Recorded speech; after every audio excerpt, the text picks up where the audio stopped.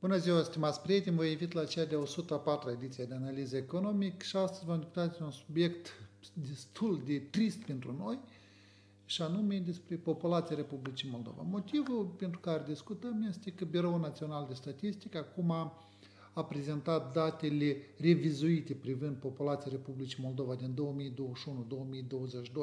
că a apărut acolo o situație nu prea clară atunci când era cu migrația în 2021 era o cifră neclară și acum revizuind datele, de fapt lucrurile s-au așezat toate la locul lor și avem datele preliminare pentru 2022. Datele finale cel mai probabil vor apărea la anul, dar deja, deja astăzi putem face anumite concluzii, deja astăzi putem spune anumite lucruri și mai mult ca atât astăzi nu vreau pur și simplu să constat niște lucruri care toată lumea le știe. Toată lumea știe că populația Republicii Moldova scade, toată lumea știe că populația Republicii Moldova pleacă pe hotare, Toată lumea știe că populația aflată în țară îmbătrânește. Astăzi voi încerca să explic, dar cine așteaptă următorii ani? Cine așteaptă pe noi anii care vin? Voi reveni la acest subiect sub diferite alte aspecte. Astăzi am pregătit câteva grafice care sper că ne va fi utile. Haideți să începem cu primul.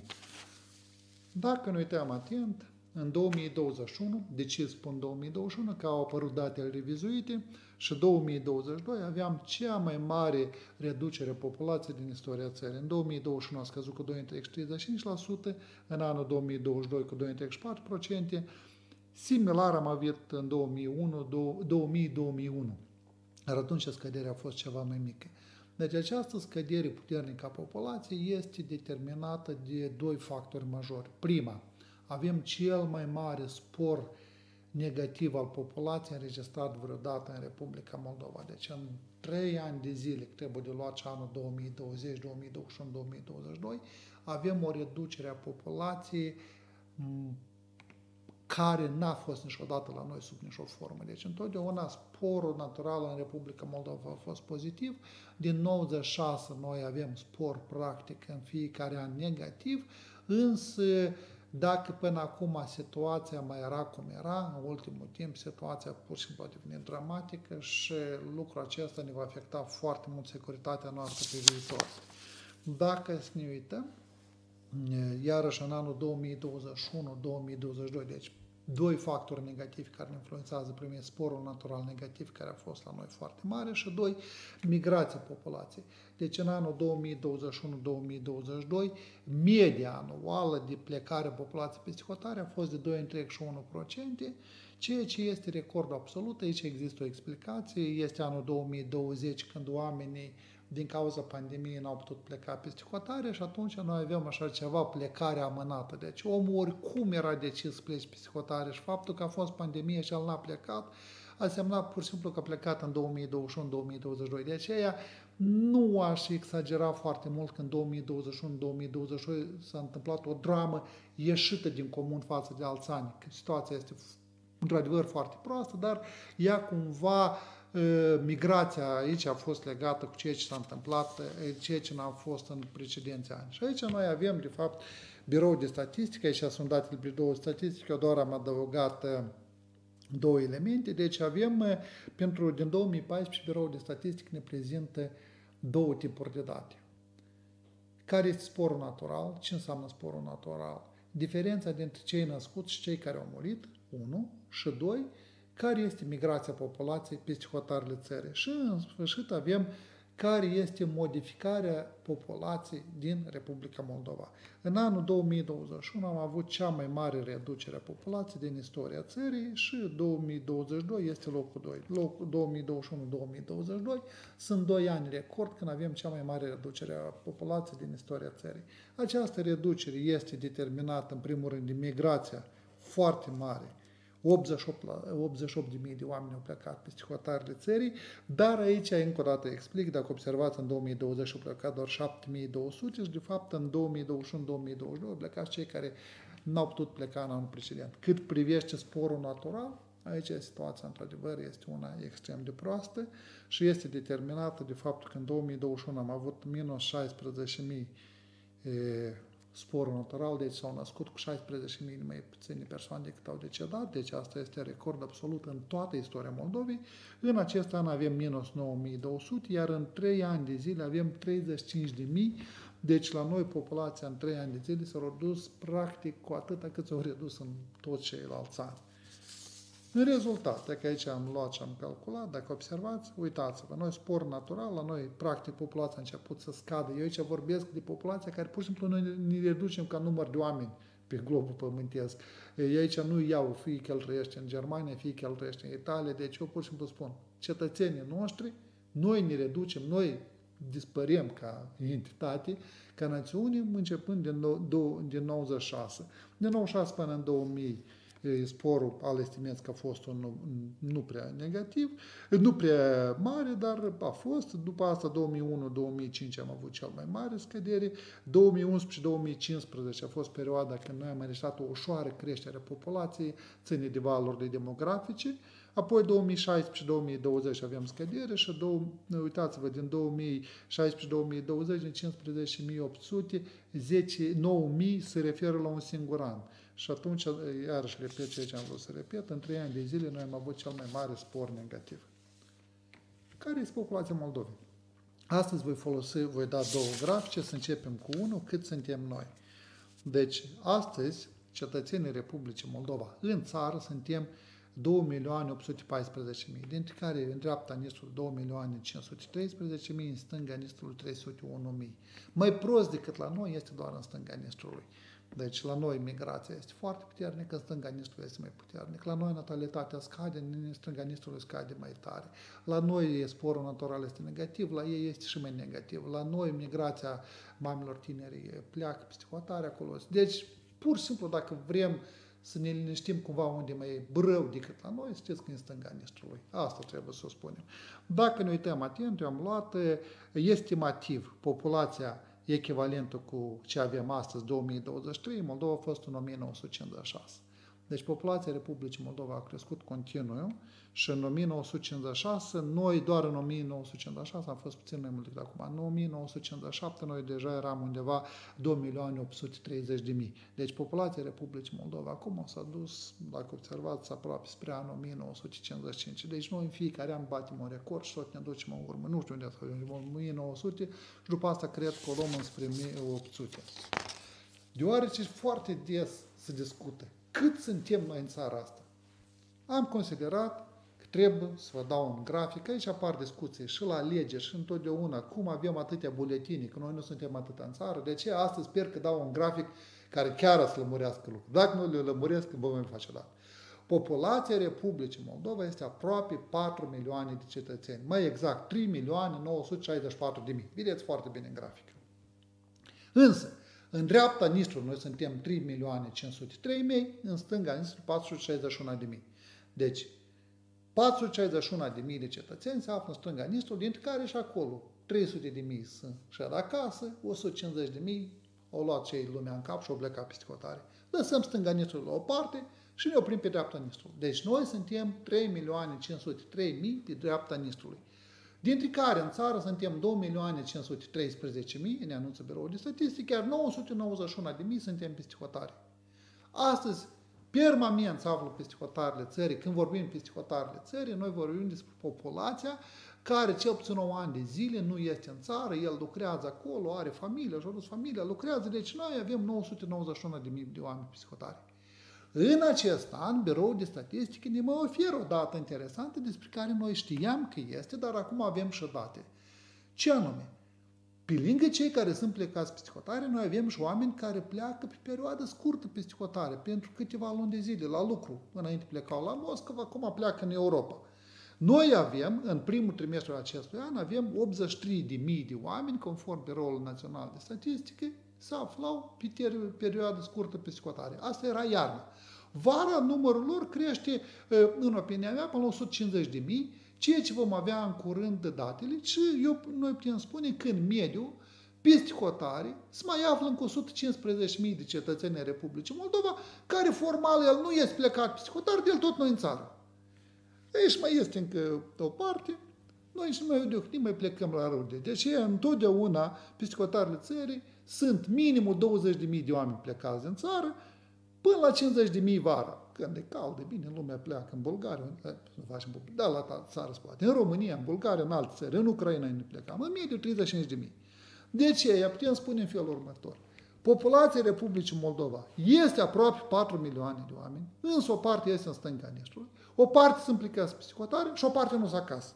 De ce în mediul la noi acasă stau întotdeauna cam 2 milioane 250 de mii de oameni, oscilând la 2 milioane 200 până la 2 milioane 300.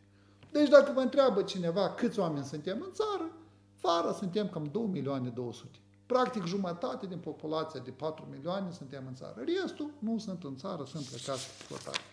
Dar după cum am spus, problema cea mai mare a Republicii Moldova este legată de faptul că noi avem uh, un spor natural negativ și aici vreau să facem o scurtă prognoză cine așteaptă următorii ani. Lucrul acesta, pentru altul, nu este foarte greu de făcut. Am să vă dau câteva cifre care să fie foarte clar cine așteaptă pe noi următorii 10 ani de zile. Haideți din tâi să o luăm cu îmbătrânirea populației. Deci eu sunt pentru cei care oameni să trăiască mult, părinții noștri, bunii noștri, să ne bucurăm de dâns și ei să ne vadă pe noi, să-și vadă nepoților cum cresc, dar să avem o situație. La noi, oameni să nască din ce în ce mai puțin, populația trăiește din ce în ce mai mult, trebuie să spunem, mult în vreo 15 ani, speranța la viață a crescut vreo 5 ani de zile, sper că va continua să crească și noi vom trăi din ce în ce mai mult, lucru care este îmbucurător. Dacă în 1970 populația mai mare de 60 de ani, în Republica Moldova era 9,7%, în 2010 eram deja 14%, în 2020 21,7%, acum 24%. Practic fiecare a patrulea cetățean care se află în Republica Moldova are mai mult de 60 de ani. S-au schimbat cifrele dramatic din 2015. Din ce cauză? Că până atunci noi calculam toată populația Republicii Moldova, acum calculăm doar pe cei care se află pe teritoriul nostru. Și este o corelație interesantă. Dacă tinerii sunt în proporție de 40% psihotare, 60% în țară, asta până când? În viitorul apropiat noi estimăm că în următorii câțiva ani de zile numărul lor psihotare va fi deja mai mare decât în țară, atunci bătrânii psihotare sunt doar 10% și 90% sunt în țară. Altfel spus, populația noastră face în felul următor. Cât este tânăr și în putere pleacă psihotare la muncă, cum iasă la pensie, el vine acasă. De fapt, Republica Moldova încet, încet se transformă într-un azil Europei. Înainte vorbeam că Moldova este un dormitor Europei. Omul lucrează pe hotare și aici își ține familia. Acum el își ia și familia pe hotare și ajungem că noi suntem un fel de azil a Europei atunci când omul îmbătrânește, vine acasă. N-ar fi o problemă aceasta dacă noi am, n-am, nu am confruntat, statul nostru se confruntă acum cu probleme enorme legate de presiunea fără precedent și am să vă dau acum un grafic, povara demografică, ceva mai târziu o să avem, și este legat de faptul că la noi din 5 mai puțină populație este care poate lucra. Deci oamenii care au rămas în țară, practic, sunt în incapacitate de a întreține pe oamenii aceștia care s-au întors acasă sau au rămas acasă. De ce la noi sporul natural este atât de scăzut? Sunt câțiva factori care se întâmplă. Să luăm pe primul. Haideți să ne uităm care este vârsta medie a unei mame în Republica Moldova și vârsta medie a unei mame care naște primul copil. Dacă vedeți aici graficul, mi-a luat ceva timp. Până în 2005 la noi situația a fost mai mult sau mai puțin la fel. Mama, vârsta medie a unei mame care năștea primul copil era 22,4 ani, care s-a respectat începând cu 80, dar și înainte cam ceva mai devreme era mai mic, dar în mediu 22 de ani. Vârsta medie în general a mamei era 25 de ani. Deci, mamele începeau primul copil în mediu la 22 de ani și vârsta medie în general, copii 25 de ani. Acum avem vârsta medie a unei mame care naște primul copil a crescut cu 2,4 ani. Ce înseamnă lucrul acesta? Deci, doamnele din ce în ce mai târziu de ce să aibă primul copil și asta înseamnă că probabilitatea că va avea a doilea sau a treilea copil scade foarte mult. Și vârsta medie în general a mamelor a crescut deja să apropie de 30 de ani. Deci vedem că la noi, de fapt, doamnele întârzi să aibă copii. Și lucrul acesta, evident, se reflectă asupra demografiei. Mai avem încă un factor care s-a început a accentua din 2015, nu am o explicație acum, dar m-am considerat util să-l dau din cauza că aceasta ne va fi uh, uh, utilă acușa, este în felul următor. Deci am împărțit toate mamele în trei categorii. Mame până la 20 de ani care nasc copii, mamele de la 20 până la 34 de ani și mamele de la 35 de ani în sus. Dacă observați, până în 2015, la noi, 85% din toți copiii, sau de fapt toți copiii erau născuți de femeile de la 20 până la 34 de ani. Și atunci când vrem să înțelegem care este perspectiva noastră demografică, este extrem de important să ne întâmplă ce se întâmplă cu doamne de la 20 până la 34 de ani. Am avut cândva un număr destul de puternic de femei care nășteau până la 20 de ani, dar acum vedem că ponderea lor a scăzut până la 5,6% și din 2015 avem un fenomen care n-a mai fost în Moldova, a crescut destul de puternic, de la 9% până la 18%, ponderea mamelor care au mai mult de 35 de ani, ce interesant că la noi a crescut destul puternic ponderea familiilor cu trei copii și mai mult, asta, care, femei care nasc a treia oară, deci eu din câte pot face prima concluzie este în felul următor. La noi familiile nu decid să aibă copii, iar cei care decid deodată au trei. Deci cam, cam asta ar fi. 30% din mamele care sunt în maternitate în acest an, în 2022, erau la treilea sau a patra naștere sau chiar și mai mult. Deci era, este cel mai mare indicator din anii pe care am putut măsura. Deci așa n-am avut încă de mult, a început în ultimii vreo 30 de ani de zile, n-a fost așa ceva. Deci, practic spus, la noi foarte puțini femei nasc, de cei care naște, dacă decide să nască primul, vine a doilea, apoi vine a treilea. Ca să înțelegem perspectiva noastră demografică, cel mai important este să luăm mamele de la vârsta, sau femeile de la vârsta de la 20 până la 34 de ani. Câte femei avem noi în țară? Dacă observați, recordul absolut a fost în 1985. Am avut 550.000 de femei de această vârstă. Prin aceasta se explică nașterile record care au fost în acel an și avem valorile demografice, deci următoare nașteri care le-am avut noi, de fapt sunt ecou celor născuți în 84, 85, 86. Deci atunci, practic, după aceea am avut deja eu născut copii și deja copiilor. Deci acestea sunt așa valori de ele tot scad. După aceasta, până în 2015, am avut o scădere până în 2000, apoi, vedeți, până în 2015 au crescut. De ce a crescut? Ați înțeles. Au fost mamele din 85 și deja au venit fiicele lor, și că am avut în 2015. Vine peste 20 de ani, vin deja cu, cu fiicele uh, acelor mame care uh, erau în 85. Uh, și din 2015, gata, valul s-a terminat. Și noi acum suntem într-o scădere dramatică. Nu este foarte greu să calculez câte femei de vârstă de naștere vor fi până în anul 2040. De ce nu este greu? Nu mă întrebați, dar vă spun foarte simplu. Noi am ajuns la 473 de mii, în 2022 am avut 392 de mii, au scăzut cu 85 de mii, în 2025 vom avea 340 de mii, iar în 2040 vom avea 250 de mii de mame. Deci primul lucru noi știm, numărul mamelor care pot avea copii în Republica Moldova scade dramatic. Dar noi avem un fenomen. Mama aceasta nu se află în țară. Ea se află pe hotare. Dacă în 2015, din 473 de mii de mame, 342 de mii erau în țară, iar 131 de mii erau peste hotare. În 2022, peste hotare sunt 143 de mii, deci observați, o crește cu 200 mii, iar în țară au rămas 250 de mii. De fapt, la noi, reducerea numărului de femei are loc din contul celor din țară. Peste hotare, numărul lor crește. Estimăm că în 2030, deci asta înseamnă peste șapte ani de zile, nu e atât de mult, numărul mamelor, deci numărul femeilor care pot fi mame din vârsta 20-34 de ani din țară va fi mai mic decât acele peste hotare. Traducând în limba română, vom spune în felul următor. În 2030 se vor naște mai mulți copii moldoveni peste hotare decât să nască în țară. Eu cred că lucrurile astea se întâmplă mai devreme, undeva în 2027-2028. Deci prima constatare este că noi, în general, acum să nasc puțin, dacă era înainte, la noi, din mamele din vârsta aceasta, la 20 până la 34 de ani, anual la maternitate era undeva 13%, deci fiecare a șaptea femeie din această vârstă era la maternitate și năștea un copil, acum a coborât la 5%. Deci practic de trei ori. Dorința sau intenția unei femei de vârsta când femeile nasc copii. De a merge să nască un copil a scăzut aproape de 3 ori. Dacă înainte erau 13%, acum sunt 5%. Deci, pe de o parte, dorința unei tinere de a avea un copil a scăzut de 3 ori, pe de altă parte, ea nu mai naște în Moldova, naște peste hotare. Lucrul acesta, deci, foarte clar știm.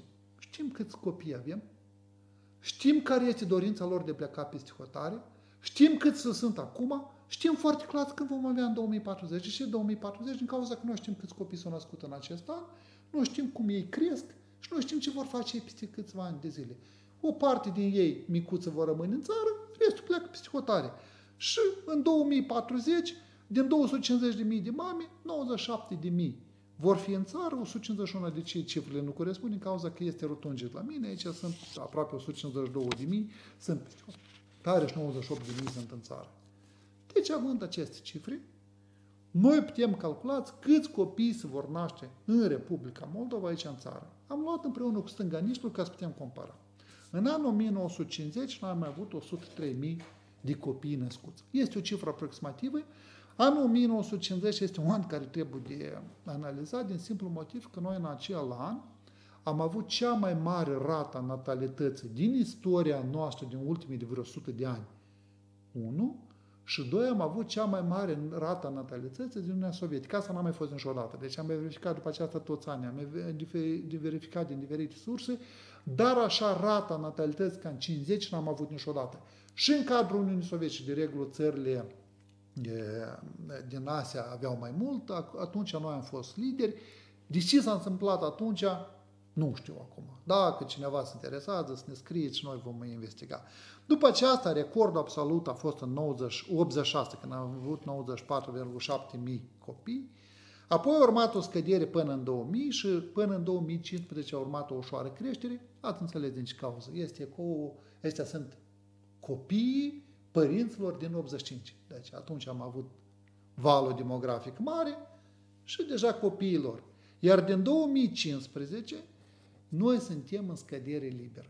Deci noi suntem în cădere liberă. În prezent noi am ajuns în 2022 am avut 30.000 de naștere, aproximativ 27.000 le știm în Republica Moldova și aproximativ 31,1 în stânga Nistrului.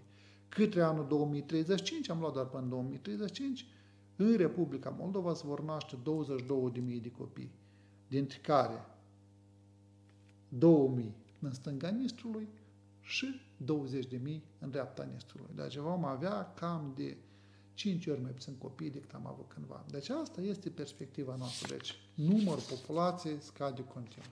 Deci asta este primul lucru care ne lovește. Să mergem rapid și migrația. Deci, dacă observați atent, în prezent avem 992.000 de oameni peste hotare, aici sunt care permanent. La ei trebuie să mai adăugați încă 100, vreo 20.000 care sunt pe termen scurt. Deci, în total, noi avem 1.100.000 de oameni 1 milion și 100 de mii care se află permanent peste hotare, dintre care o parte din ei vin acasă. Presiunea demografică. Ce înseamnă aceasta? Câți copii revin la 100 de oameni în vârstă? Este un indicator care se folosește în diferite țări, se iau copiii de la vârsta de la 0 până la 14 ani, este grupa de bază, ăștia care vin viitorii, care trebuie să întrețină pe cei în vârstă, și persoane de la 65 de ani în plus. În 1960, la noi, la 100 de persoane erau 682 de copii. Adică la fiecare persoană în vârstă, la fiecare bunel, îi revenea aproape 7 nepoți. 6 întreg și 8 copii. După aceasta a urmat o scădere rapidă. În 2023 noi am ajuns, raportul este aproape 1 la 1. La un copil de vârsta de 0-14 ani revine un bătrân de 65 de ani plus. Și ultimul, problema demografică nu este doar la noi. Sporul natural negativ este o problemă în întreaga Europa. Practic, în toate țările Europei, cu mici excepții, noi avem o reducere a numărului populației, o reducere naturală a numărului populației. Problema este la noi. Din ce cauză? Că țările europene au migrație internă, au migrație. Deci dacă la noi oamenii pleacă, acolo vin. Spre exemplu, în ultimii ani, 10 ani de zile, populația Europei a crescut din contul migranților cu peste 40 de milioane de oameni. Germania, având un spor natural negativ, de fapt și-a crescut populația exclusiv din cauza migranților. Dacă vă interesează, într-o zi aparte voi publica toate. Acum ce am făcut? Am luat toate țările din Europa și am luat cu cât s-a schimbat populația acestor țări. Dacă observați, avem țările micuți, unde populația a crescut foarte mult, avem Turcia aici tot în lider, și din țările fostului Uniunii Sovietice sau CSI este unica țară, Azerbaijan, unde populația în 10 ani de zile a crescut cu 10%. Media europeană este de 1,4%, deci populația Uni Uniunii, în ce scuz numire european, dar media Uniunii Europene a crescut cu 1,4%, a crescut exclusiv datorită migrației. Deci sporul natural în Europa este negativ și doar migrația salvează continentul european. La polul opus se află țările donatoare. România, dar este în Uniunea Europeană, dar oricum, din România populația s-a redus cu minus 5,2% și în rest măr țările ex-socialiste și lider este Georgia cu 18%, pe locul 2 Moldova cu 12%, pe locul 3 Ucraina cu 9,8%. Ucraina este 22 până la începerea războiului. Datele sunt 2012-2022. Deci putem spune în felul următor. Continentul european confruntă cu o problemă mare legată de sporul natural negativ, însă, spre deosebire de țările sărace, țările bogate au un avantaj. Își pot compensa lipsa de naștere din țară prin capacitatea de a atrage oameni. Republica Moldova pierde această competiție și noi, de par, din păcate, deja suntem în situația când economia noastră pur și simplu nu mai poate face față lipsei forței de muncă. Iar situația în următorii ani de zile pur și simplu nu are cum să îmbunătăți, de aceea nu m-aș mira dacă noi în cel mult 2 ani de zile va trebui, vom fi obligați, vom fi forțați de circunstanțe să aprobăm niște politici de stat, aș spune chiar agresive, de aducerea forței de muncă străine, de a încuraja migrația în Republica Moldova pentru a compensa cumva plecarea oamenilor pe costare. Asta o face România, noi o începem o leacă mai târziu ca România și poate doar în felul acesta vom reuși cumva să reducem din acest spor negativ. Apropo, și în România avem uh, migrații și în Bulgaria avem migrații. Evident, până când migrația în țările ex-socialiste este cu mult mai slabă, adică venirea străinilor este cu mult mai slabă, din simplu motiv că ei nu sunt competitivi cu țările dezvoltate. Scurt, secolul 21 este lupta pentru oameni. Dacă nu i-ai pe tăi, trebuie să te aduci din altă parte. De altfel, pur și simplu, n-ai nicio șansă să supraviețuiești. Vă mulțumesc și până data viitoare.